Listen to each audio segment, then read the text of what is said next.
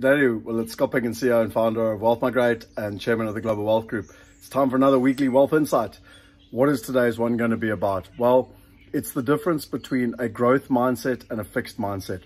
Now, I'm doing this amazing course at the moment by Steven Kotler on flow. And, you know, it's just incredible how you can achieve so much more, like in the realms of 40% plus, if you actually get yourself into flow. But there's two paradigms that are really important when it comes to ultimately getting into flow. And the first one is your mindset, and the second one is grit. Now, let's talk a little bit about mindset and specifically a growth mindset. What's important is that in a fixed mindset, you believe that whatever you've got in your life is the status quo, whether it's intelligence, whether it's money, whether it's fitness, you know, or anything along talent or anything, it's fixed. And whatever you've got, that's what it is. And that's the rest of your life. There's nothing you can do about it. Whereas a growth mindset, it's all about the starting point. Literally, you work on it and, and the results are up to you.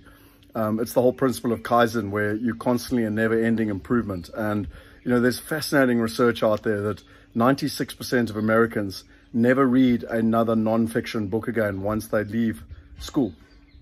That's a classic example of people not learning and not growing. There's another stat, which is also in the same sort of percentage, about 96% of people that buy a course never actually finish the course.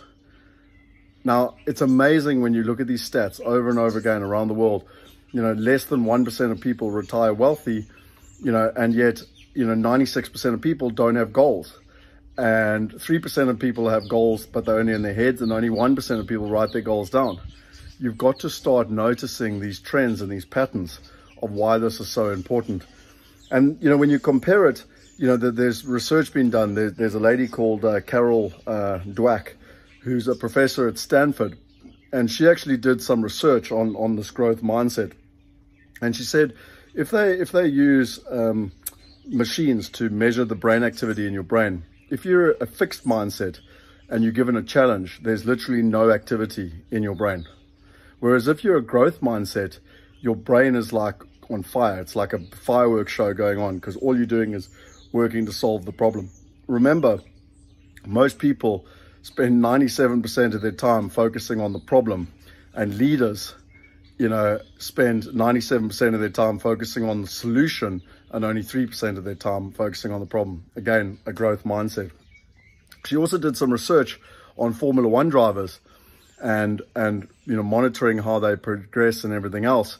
And she found that, you know, those that are in flow and those that consistently win have this growth mindset because they're consistently getting better and stronger and learning more and more and just getting faster and faster. But also they spend the majority of their life in flow. Now that brings me on to Angela Duckworth, who's at the University of Pennsylvania.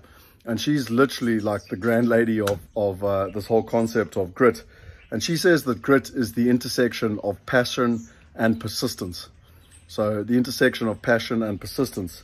But what's really interesting is that when she's, and she's done, you know, decades worth of research into grit, and she says that the number one characteristic of people that have got grit are that they have a growth mindset. And so it's a, it's a full circle. Now, if you want to be successful, you have to have grit. You have to have passion. You have to have persistence. And what's really, really interesting is that it's built on the foundation of a growth mindset. And what's so fascinating to me is that the majority of the world's population is not based on this. You know, I've given you all the stats already that, that they've got a fixed mindset. They're not prepared to learn and to grow. I've got another construct I do with a guy called Richard Neff from Realty Check, where it's your 22 driving dynamics. It's what drive you. And for me, consistently, I've done this since 2009. So over the last 11 or 12 years, consistently, personal development has come in my top three.